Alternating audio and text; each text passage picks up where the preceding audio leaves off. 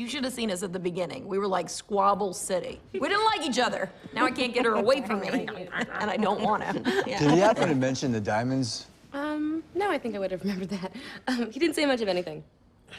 Ladies, it's it's really important that you try to remember any details. He was cis male. Uh, looked like he like would wash his car as a hobby activity. Okay.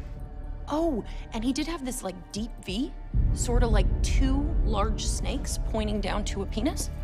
It's a big house. Any place he might have been able to stash something? Well, we did clean the entire house and never came across his coat or phone, so it's definitely a possibility. Tampon! What? What? Blair. what? I need a tampon. I thought you used Diva cups. Yeah. No, never. Fuck off. Only tampons, the best of tampons. You took them from us What? and locked them in there, and you have the key. What are you talking about? I didn't lock away our tampons. I locked away our. Uh. Huh? Are we on the same page, Blair? Yes. Yo, yo, lady, you want to get your friend a tampon or whatever? Okay. One tampon coming up. Okay. Just be right back with that. well, I'm not on my period. It's good to know.